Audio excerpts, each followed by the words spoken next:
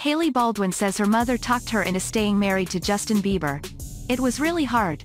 I just can't do it, she told her mother at height of Bieber's mental health struggles. Hailey Baldwin has opened up about the challenges of her first year being married to Justin Bieber. The couple married in September 2018, with Baldwin revealing the first year of their marriage was very difficult. During an interview in March 2021 Bieber has been vocal about his experience of depression, which he struggled with after marrying Baldwin. The couple discussed the early stages of their respective struggles on the podcast In Good Faith with Chelsea and Judah Smith, with Baldwin revealing her mother, Kennya Baldwin, talked her into staying with the singer at one particularly tough stage.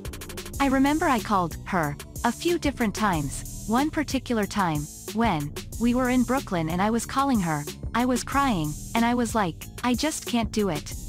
There's no way that I'm going to be able to do this if it's going to be like this forever, she said. And I just remember she was so calm on the phone and she was like, it's going to pass, and you're going to be fine and he's going to be healthy and we're here for you. And I do feel like we had a lot of support. Reflecting on the importance of the moment, Baldwin continued, I feel like if I didn't have support, it would have been 10 times harder, and it was already the hardest thing in my life at the time so I also just think I was in it. I made a decision. I know for a fact that I've loved this person for a very long time and now would not be the time to give up on him. I just wouldn't do that to him. She added. Imagine abandoning somebody in the middle of the worst time of their life, potentially.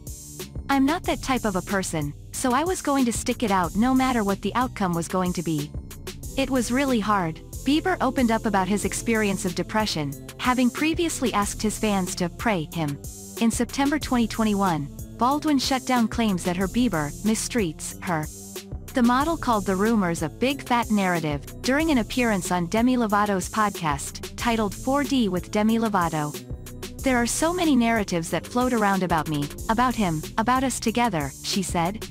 Like, Justin is not nice to her and mistreats her, and I'm just like, it's so far from the truth and it's the complete and utter opposite. Baldwin's comments came after she was subjected to chants of Selena at the 2021 Met Gala. Footage shared on TikTok appeared to show members of the audience shouting the name of Bieber's ex-girlfriend, Selena Gomez, as the pair posed on the red carpet in New York.